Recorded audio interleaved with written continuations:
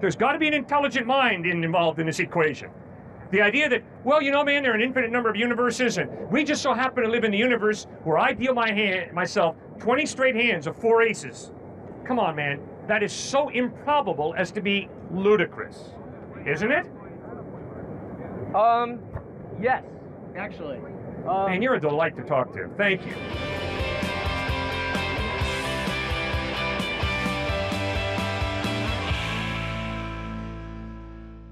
Uh, a, a point occupying no space with infinite density, or something like that. I'm not a physics major. But that's all it says. It says that the universe came from the point, but it doesn't say where the point came from. So we have no theories about that because we are not capable of knowing what kind of thing would create a singularity. All right.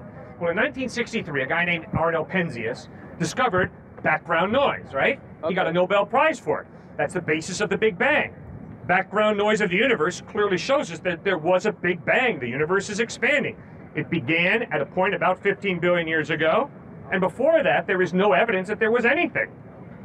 There was basically nothing. Well, you, I think that you can't make that jump. You can't say that there is no evidence that there was anything, but you can't say that there is evidence that there was nothing.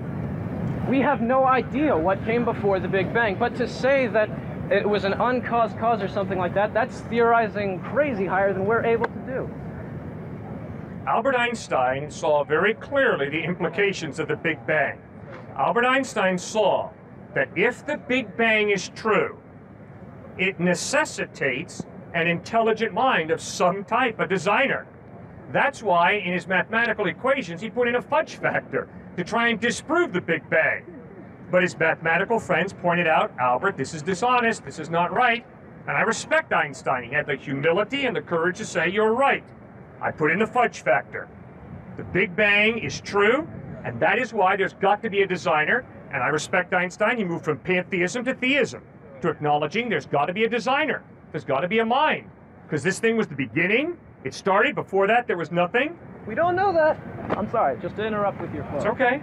Um, okay, And well, Einstein became a respecter of the intelligent mind behind it all. He didn't get specific, but Um, well, I, of course, have respect for Einstein, though not necessarily as much as I should. Um, and, you know, the reference to his uh, conversion to theism is a good point for your argument, but it's not, we can't argue about it. Um, you just say Einstein believed this, and okay, yes, Einstein believed that, and that does kind of lend credibility to your argument. I can't argue with it. Well, it's an example from an atheist going to point of theism. Antony Flew is the same way. Antony Flew, a brilliant atheist philosopher, a few years ago, converted from atheism to theism. Why? Because the order and design of the universe, which is being discovered in more and more intricate ways, points to a designer. And Antony Flew said, I've got to follow the evidence. There's got to be some type of creator. Well, right now, well, uh, excluding the references to smart people who converted to theism, right now we're talking about the cre- the Big Bang, and that's not. We haven't moved on to the complexity of the universe, though. I, I would like to do so now. All right, go ahead. Um, with you know, okay, the the human eye or the Yes. complexity of life, because Yeah. God knows it's so complex, and the ongoing complexity of the universe and physics and all of that. Um, it is extraordinary, Yes. undoubtedly. Uh, but evolution explains how simpler things can become more complex. So, you know, you, the reason that we uh, that you know you look to a designer when you see the Golden Gate Bridge, and the same with humanity, is because of its complexity. Mhm. Uh, Golden Gate Bridge cannot form on its you know own right. because it's just so. Uh, we see patterns and symmetry, and we love it. Complex design. Uh, but evolution explains how simpler things can become more complex. Sure. We have ch- timelines of in evolutionary history how different organs were used for different things and how things changed and evolved and not necessarily actually even became more complex, but just emerged to see like they had a function. Uh huh. And that's a that is explainable by science, by something we think of nature. So, why, uh, God is not required, though you know it, it does it does kind of lend credibility to the argument. But God is not required. We we don't need we don't have it's not proof. I agree it's not proof. But the question as a thinking human being is what is most plausible? What is most reasonable to believe in light of the evidence? And there is absolutely no evidence that I've ever found that complex design comes about by chance. A delicious meal points to a cook. A painting points to a painter. A BMW does not point to a hurricane going through a scrap metal yard. It points to a mechanic. Everything in my experience shows me that complex design implies designer. So why would I part company with all my experience in life and say, but I think it's more reasonable to believe that the incredible complexity of the universe came about by chance. Okay. That's irrational for me. Again, we go to the complexity of the universe, but I'd like to stick to stick to life for Sure. this. It's more specific. You bet. Um, so uh, again, we're talking about plausibility. Oh, I had a point. No, just Oh, keep yeah. life. You're, you're a great point. Life. Tell me about life. Okay. Well, it was what it's, it's actually what I overheard you talking about yesterday, and it, yeah, I, the exact words were "Life is ridiculous without a God." Um, Meaningless. Uh, you said ridiculous, but it doesn't All right, matter. It really ridiculous. doesn't in, matter. in the sense of meaningless. Okay, okay. Then I uh, misheard the context. Um, it only had to ha- we have not encountered any other life in the universe yet. So, for all we know, it only happened once, and it only had to happen once. And the probability you need to measure is whether that was improbable given the size of the universe. I've heard some calculations that it isn't. Okay, great. Thanks for bringing up this point. It's one of the reasons, another piece of evidence for God's existence for me. See, you as an atheist believe life comes from non life. I could never believe that. Why? Because in my experience, life comes from life, it never comes from non life. That's why it's far more reasonable for me to believe we come from an eternal living being, God, than it is for me to believe that the life that we have ultimately comes from non life. Never once in my experience have I ever seen life come from non life. I see life come from life all the time. Plant life comes from plant life, animal life comes from animal life, human life comes from human life. Never once have I seen life come from non life. That's a piece of evidence for me that God exists. Because it's far more reasonable for me to believe that life on this planet comes from a living being than it is for me to believe life sprang from non life by chance. Okay. Does that make sense? Yes. And I, I see. I think I see what you're saying with it, and it was a very good argument. My compliments. It's the best I've heard. You know, it's a delight talking to you, by the way. Some people have an attitude that's incredible, but it's a delight talking with you, Russell. Thanks for treating me the way you do. I hope I'm treating you the same way. Well, th- yes, you have been. actually. Good. Uh, but all right. Um, so my point was that science does. You know, life is incredible. Life is difficult to imagine having come from nothing. But given all of the facts that we have seen, there's no reason. You know, you were saying you you you've seen life come from life, and you don't see a reason why it, it could have not. But I say. There is no reason to think that it could have not, given the size of the universe. Okay. Okay, but then my question is wait a second. You believe in the Big Bang, right? I believe the scientists that tell me about the Big Bang believe it. Okay. I believe the evidence is the Big Bang occurred.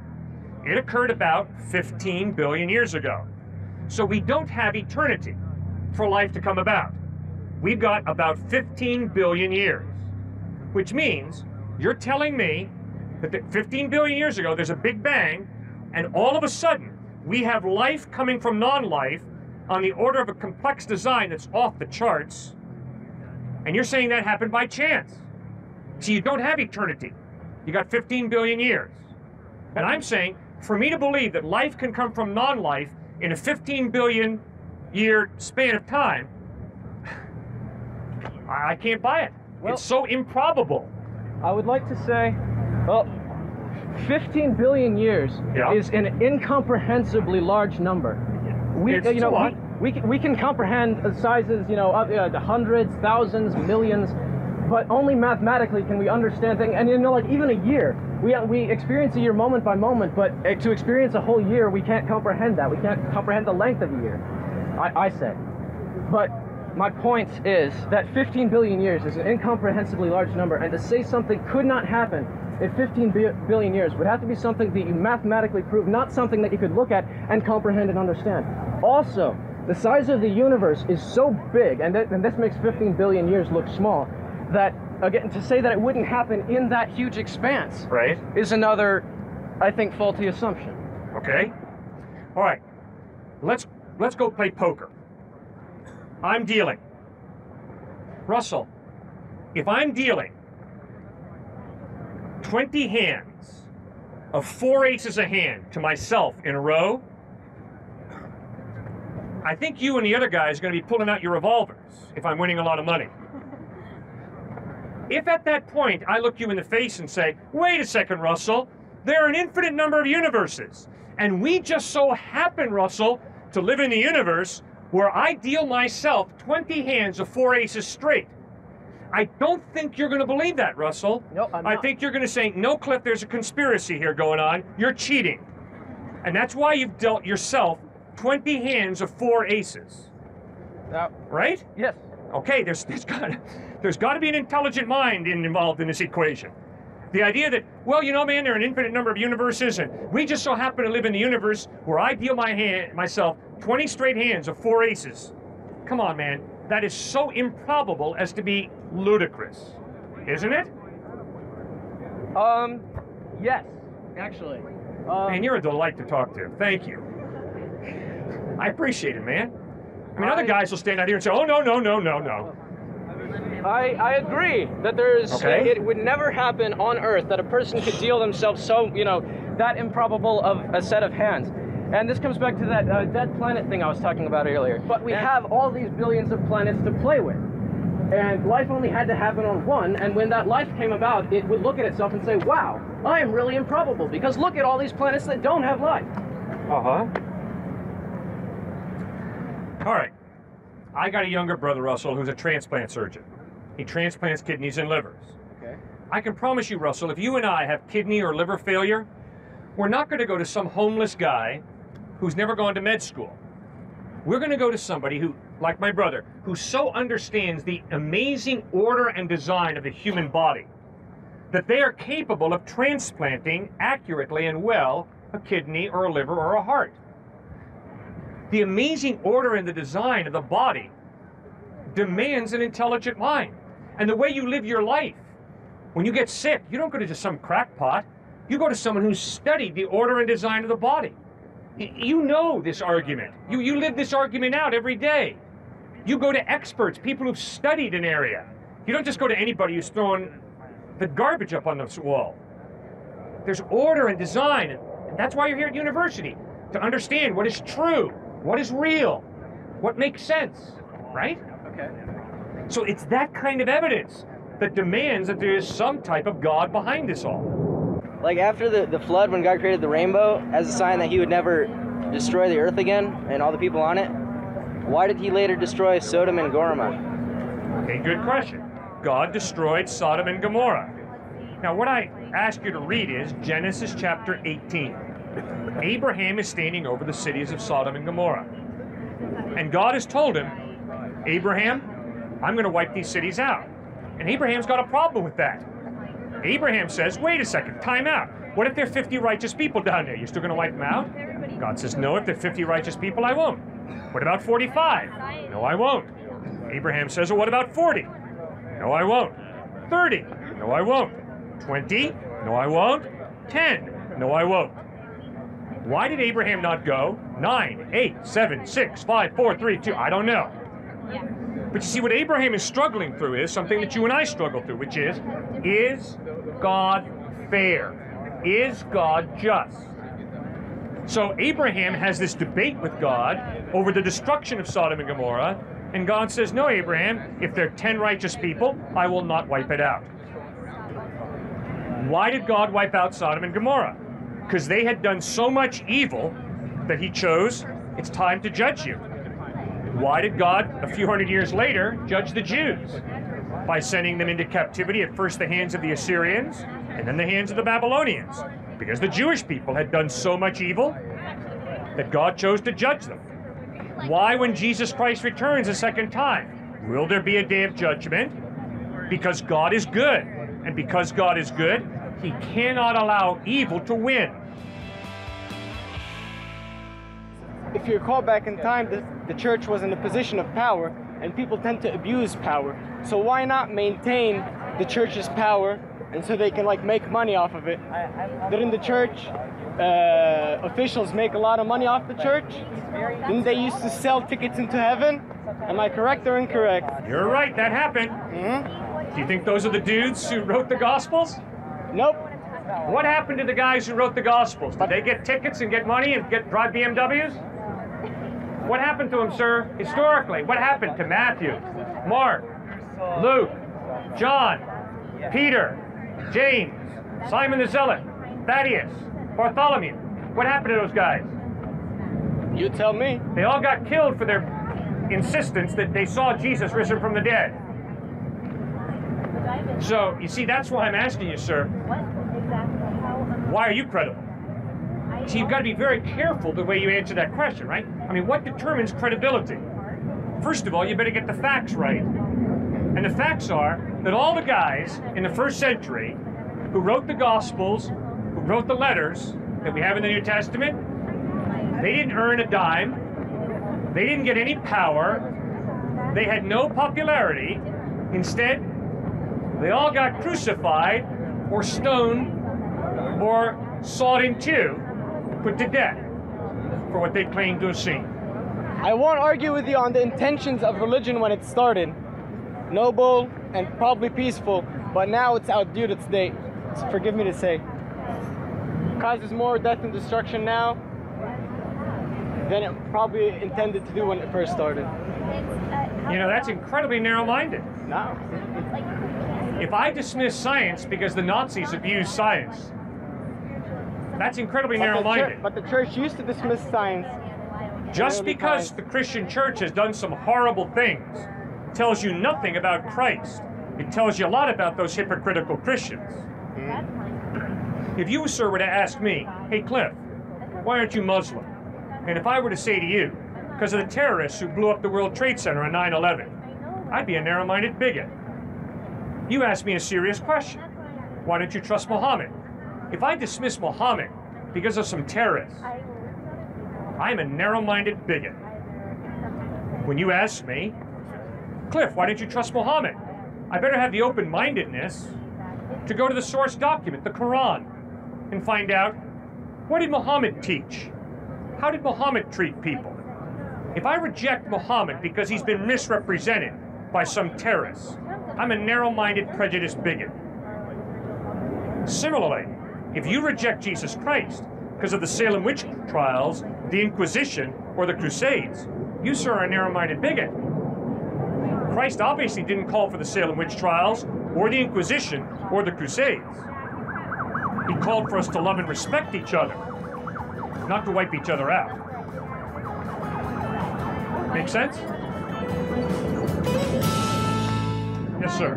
Uh, I was just gonna say, like, in support of your argument with the credibility, last year you brought up how the women that saw Jesus arise out of the tomb, like, they didn't have a lot going for them, like, in in testifying to that. Like, what? I mean, just for everybody's sake, like, can you just talk about what they were up against? Like, I think that adds to the credibility of the sources that they weren't doing it for self worth, you know?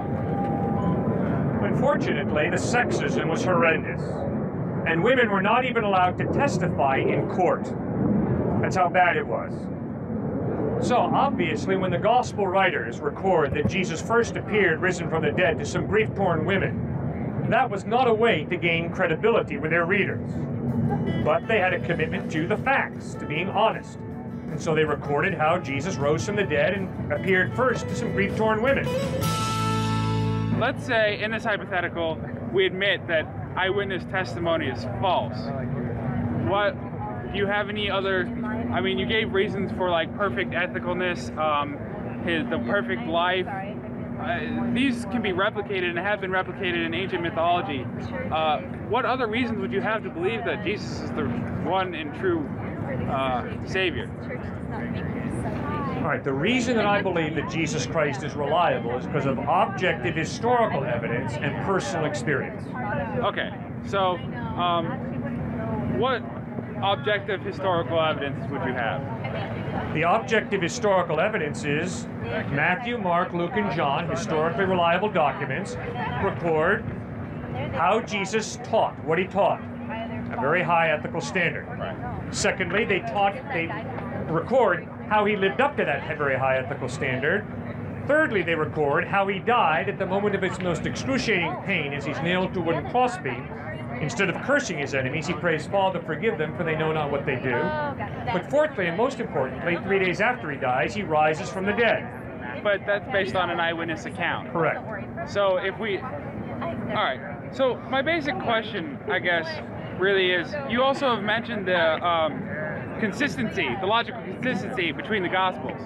But in, I remember reading in when I was reading the Bible, in Mark, um, I do believe he says that uh, Jesus died before the Passover, and then in Matthew it says he died after the Passover. Uh, how do you explain this inconsistency? Or one angel coming down instead of two angels coming down? I mean, uh, from my reading of the Bible, it's not that consistent. There are, I mean, there are no blatant like, like Jesus went off to do this at this period of time while another guy says he went and did something different. But they're not exactly logically coherent in the fact that they all tell the same story. In fact, in the first gospel, you really it, reads much much much different from the last gospel in the uh, in including the fact that Jesus is God and divine while the first one doesn't necessarily emphasize that fact so much Okay, I think you brought up a, a great list of examples. the first one is when was Jesus crucified? You're right. There are some differences between the synoptics, Matthew, Mark, Luke, and John in exactly when was the Last Supper. I think the evidence is that the Last Supper occurred Thursday evening, and then he went ahead and, the, and was arrested, and then he was crucified on Friday, and then he rose on Sunday. But the reason there's a different difficulty in those different gospels is because there were two different approaches to defining exactly when the Passover began. Whether you came from Galilee or whether you came from Jerusalem determined your view of exactly when the Passover began. So you're right, there's a little discrepancy there. But if you study and find out why the discrepancy is there, what you find out is there were two different views of that in Galilee versus in Jerusalem. Second one with the angels. You're right. In one of the Gospels, you've got two angels, in another Gospel, you've got one angel. Well, as I told you yesterday, I appreciated the way you challenged me. I don't appreciate the way the other guy out here dropped his little emotional statements and then runs off. So, tonight I'm going to talk to my wife and I'm going to say, you know the dude I told you about last night who I really respected? He was out again today. And then later on in the conversation, I'm going to say, and I spoke to over 50 people today. Well, you and I did have this discussion, but I also happened to speak to over 50 people. right So, what you've got is you've got a perspective. There was an angel. The gospel writer doesn't say there was only one angel. He says there was an angel at that point. And then another gospel writer says, and there were two angels. Not a contradiction, but a different perspective. so you admit that there are logical inconsistencies because it's i mean man wrote it so that would probably be another good reason why there's logical inconsist- inconsistencies and inconsistencies and this was what i was referring to in beforehand um, but if you don't have if you have these different other examples of gods which are just as morally perfect and just as morally ethical as jesus and you discount the personal testimony for the reason I gave before, do you admit that there is no real objective reason besides personal faith to believe in one God over another? Please give me the alternative that you view as better than Christ. Well, Mithra was, was Mithra was described pretty well. Buddha was described pretty well. But wait a second. Mithraism is not based on an historical person. I do believe it was actually. Yeah, but a lot of Mithraism is developed long after Mithras, and it's in addition to. So Mithraism is not this historical person, and it's not a claim that God revealed himself uniquely through Mithras. Something that grew up in Iran and Iraq, I believe, Yeah, around after area. he lived. Okay. And when it comes to Siddhartha Gautama Buddha, obviously, Siddhartha Gautama Buddha lived. He's a historical person. He obviously did not talk about God. He was agnostic. But what I so respect about him is that he struggled with the problem of suffering. But he never talks about God. And then my real problem is karma. Well, that's what's ignoring. Karma doesn't really make any sense either. I admit that. But I mean, it's it's Karma's more of a, it's more of a like. It, I, I guess my analogy is more of if I can think of and make or create an historical account of someone who is just as perfect as Jesus, would you have any other? Would you have any reason not to believe in that account over another account? Oh, I can promise you, sir, if you gave me evidence that Jesus had not risen from the dead, my faith in Christ is bankrupt. It's over. But your evidence that Christ rose from the death is based on eyewitness testimony. Right. And didn't we hypothetically agree that that wasn't a good qualification for objective evidence? You said that. I was. I I don't agree with you. You, you don't agree with me, even No. though science says that most uh, eyewitness accounts are you know, unreliable. Sir, if you get married, Yes. you're going to be making one whale of a big commitment to that woman, aren't you? Yes, sir. It's going to have nothing to do with science. It's going to have everything to do with history.